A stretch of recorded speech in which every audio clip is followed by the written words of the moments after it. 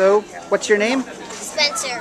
And why are you here today? Um, because I'm going to show people um, about these bugs and tell them what they mean and what they do. What bugs are they?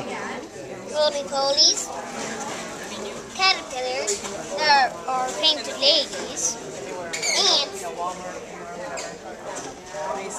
hornworms, and tarantulas. Tarantulas. Which which ones are your favorites?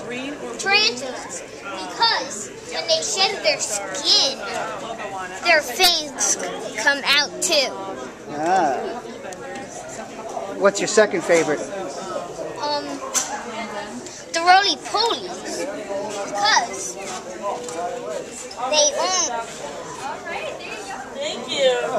because they like cool dirt. See, cool dirt, and they like shade.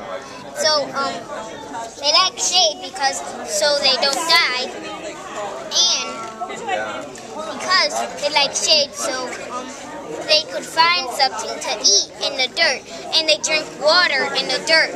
Ah. What other insects do you like?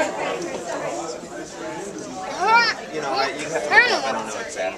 Hornworms? Yeah, because um they got little horn, horn, horns, so they could like, if they want to eat a tomato, they could stick that horn into the tomato, and then they could um make a little line down, and, and so they they could eat the tomato Ah.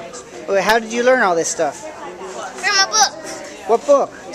um from the library. Ah, cool. Are you going to be an entomologist someday? Yeah, I am. Very good. All right, well, thanks, Spencer. Welcome.